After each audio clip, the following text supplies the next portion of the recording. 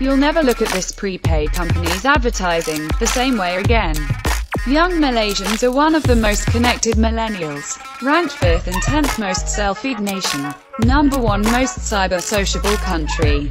50% of Malaysians own at least 4 digital devices. But with rising living and mobile data costs, people go offline to save money.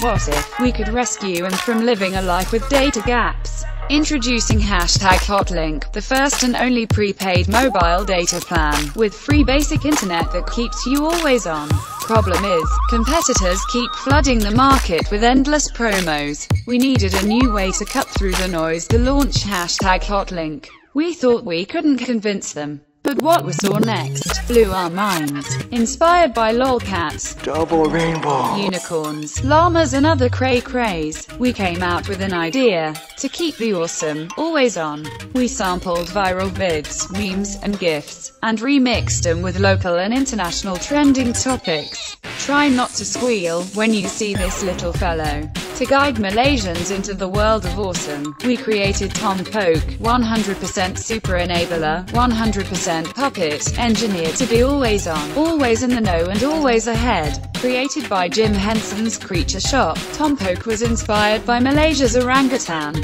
He talks via tweet-powered shades in NetSpeak, the lingo of today's youth. You'll look twice when you see what we put on TV. To launch the campaign, Tom Poke took over the airwaves with WTF TVCs, starting with 24-7 free social chat among a motley crew of viral personas. We then blasted off into awesome fast internet, before arriving at never off internet, where the awesome never ends. But we didn't stop there. You won't believe what Malaysians saw on their social feed. Tom Poke appeared across the net in meme-like web banners, even where you least expected. 404 dead pages.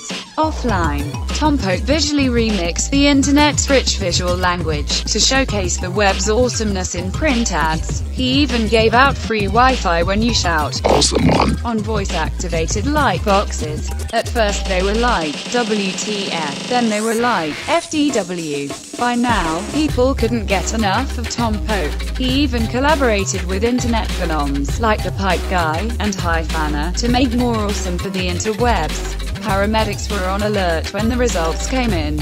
In just two months since launch, we got 200,000 subscribers to use hashtag Hotlink as the primary SIM, and achieved the highest brand recall among millennials for mobile data. After three quarters of sharp decline, Hotlink regained leadership, posting exponential growth as sales continued rising up to the millions, and awesome became a trending buzzword itself.